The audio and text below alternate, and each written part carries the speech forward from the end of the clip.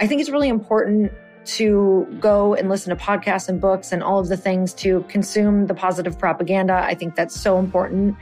But also, I think that you have to be in the rooms with the people who are doing it to peel back the layers to actually hear what goes on underneath that.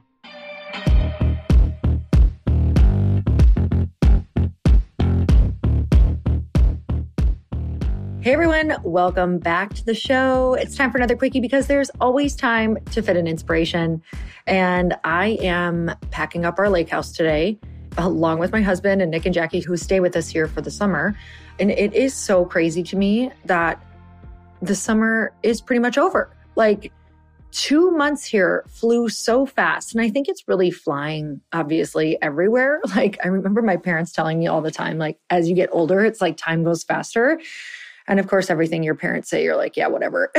but truly, it has felt like I blinked and this whole year went by. And I remember mm-hmm. feeling that way the past few years. And if losing someone in our life and if getting older has taught me one thing, it is that life is far too short and far too precious. So today is one of those days where I'm feeling all the feels in the best way.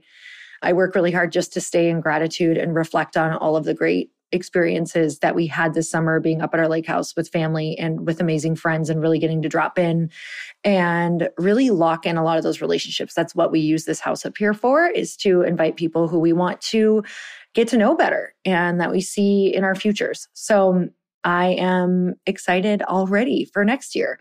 And something I was just thinking about, I saw somebody posted something from a friend of mine. Her name is Keisha Getmari. And she had said a quote that essentially you have to see it to be it. She said, You can't be what you can't see. And that really got me to thinking about what you feed yourself is what is possible for you.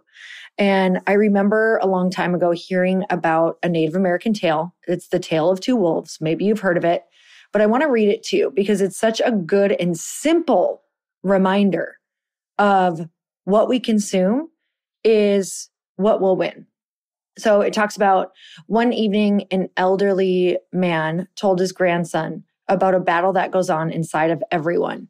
He said, My son, the battle is between two wolves inside all of us. One is evil, it's anger, envy, jealousy, sorrow, regret, greed, arrogance, self pity, guilt, resentment, lies, false pride, superiority, and ego.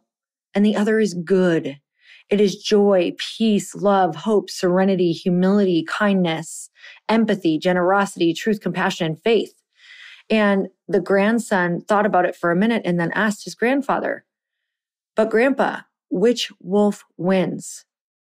And the old man said, The one that you feed. That's it. The one that you feed. The one that you feed the most is the one that's going to win. And this is so powerful because if you need to see it to be it, then you actually have to feed that part of you. You actually have to feed yourself with possibility. You have to get in the rooms that feed you and show you exactly how it's done. Now, I think it's really important to go and listen to podcasts and books and all of the things to consume the positive propaganda. I think that's so important. But also, I think that you have to be in the rooms with the people who are doing it to peel back the layers to actually hear what goes on underneath that. Because there is a place where sometimes seeing it, but not understanding how it happened can actually disempower you. So if you're in a place where you're like, I'm consuming all the things and I'm actually feeling worse, it might be because you're not actually hearing their path.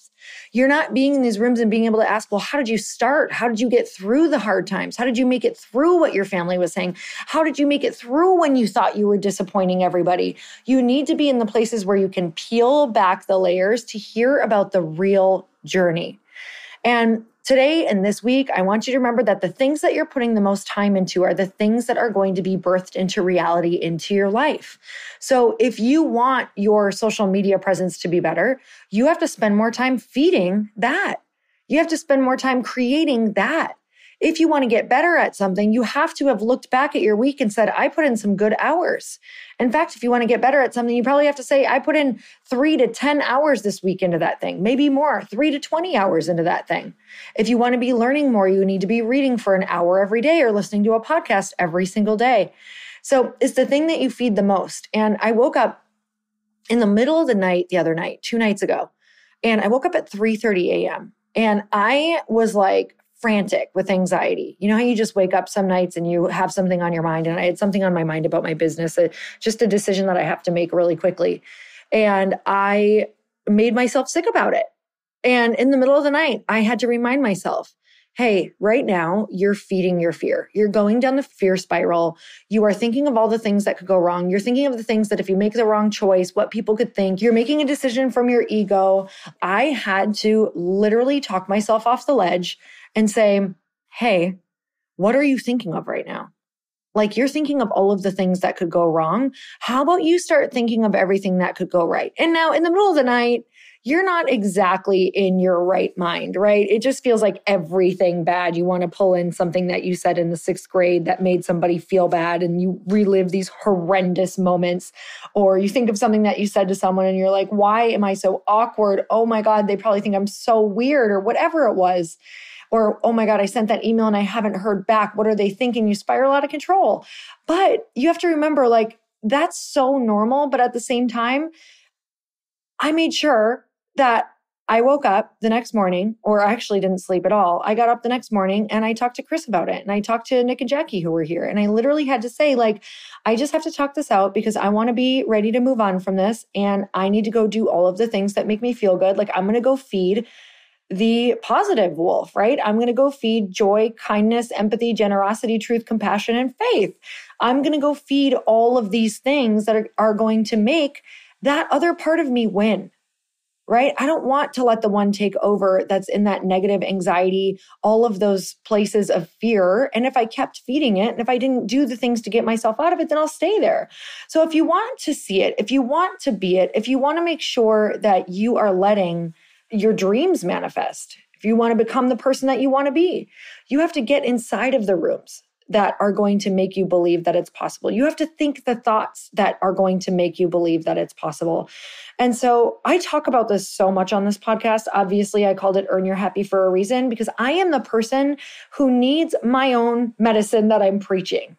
You guys, I need to hear this every single day because I'm not kidding you. I can be as high as a kite on a Wednesday and somehow on a Thursday, the next day, I can literally be like, I don't know what happened. I don't know. Did I eat something weird? Like, how can I again feel like I'm in a place where maybe I don't feel as good as I want to? Well, I have to go and feed the positive wolf again, right? I have to go and do all those things.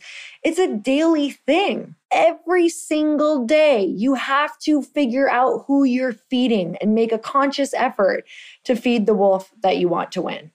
So, this is something that I practice every day that I need reminders of every single day. And I just wanted to remind you that it's as simple as which one you feeds is going to be the one that is going to win and that you are going to be every single day. And so, if you see it, if you think it, if you feel it, if you put yourself in those rooms, that's what is going to manifest. And that's who you're ultimately going to be. So I'm sending you guys so much love and know that I am on a cross country road trip right now. I am headed back to the West Coast. I'm super excited. I feel like this was the exact kind of energy flip, energy change up that I needed to really recharge and go back strong. And I'm like in such a go season right now. So if you are in a go mode with me, you're probably going to hear that throughout the podcast for the next few months, maybe longer, however long the season lasts for me, because this is definitely the season that I'm in. So I will be sharing what I am doing to really pump myself up and stay in this energy of launching, of getting out there, of growing, because that's where I'm at right now. So if you're there, you're probably really going to enjoy the content over the next few months. And I will see you next week. Thank you guys so much for tuning in. Until next time, earn your happy.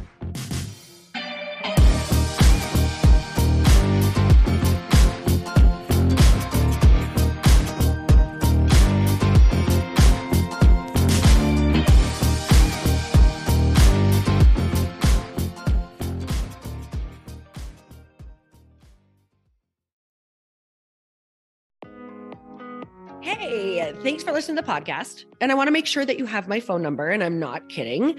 Did you know that I have a community text number for real? My phone number is 310 496 8363. This goes directly to my phone. All you have to do is text the word daily to 310 496 8363. And I literally text you every single day, Monday through Friday. I actually just got done 30 seconds ago texting a bunch of people back. And I talk to you all of the time. You guys, people always ask me how I got my community text number and how it works. Well, all you have to do is you can just go to community.com and get your own. Community makes it easy to get a phone number that you can use to build your audience using text. People just text you at your number and they're added to your group. Then you can text them out audios, video links, anything you want. You guys, I text out happy birthday videos. I love to send podcast links, thoughts about life, book recommendations, uh, different events that I'm doing in the local area. Texting gets me out of the noise of social media and directly into your hand. And now you can start texting your people too. Just go to community.com to get your phone number. They give you a 10 digit real phone number, not those weird short codes that look like spam, but it's more than a phone phone number. Your new number comes with an inbox for SMS and texting. This means you can actually manage your text list from your computer and an app on your phone. You can schedule texts to send at certain times and to certain groups. You can even set up auto replies or let your assistant or customer service team answer your text messages via Community's awesome dashboard. Just go to community.com and ask for a free demo. They'll show you how it works and get you your number. It's time to start texting your audience versus just posting on social media. Everyone uses Community for that. So go check them out at community.com. I can tell you it's not just great for communicating with my audience, but Chris and I use community and our texts to also sell out our launches. I'm telling you, you get such an incredible response because you really are creating a true, deep sense of community. And it's so intimate. It's freaking amazing. Go check it out at community.com.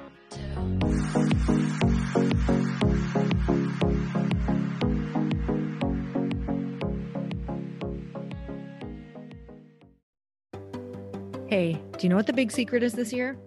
And it shouldn't be a secret because this should be your biggest focus. It is building your community. I am always working on building and nurturing my community, and everyone is talking about the power of community. Without an online community, you just cannot grow organically or create a real movement, which is what I know that we're all after.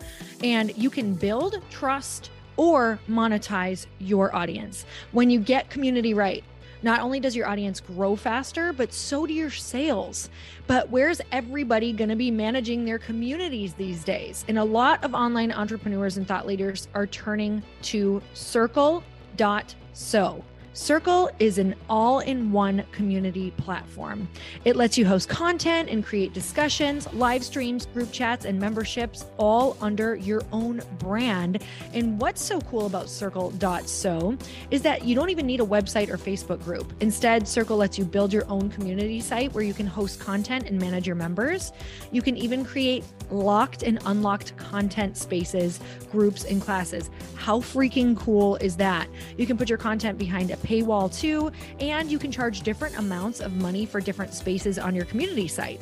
Circle.so is famously easy to use and it has a free 14 day trial for you. So you can go check it out, see if you like it, see if you love all the options.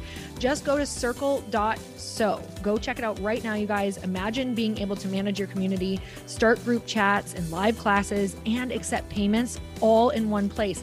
Kind of mind blowing since this is usually spread all over the place. You have to log into so many different things. If this is the year to capture, organize, and monetize your community, head over to circle.so. You can get a free trial and start building your online community right now. Just go to circle.so. You guys, you get the 14 day free trial. So just go and see if it's for you. It's going to streamline everything and make your life so much easier. It's so freaking cool.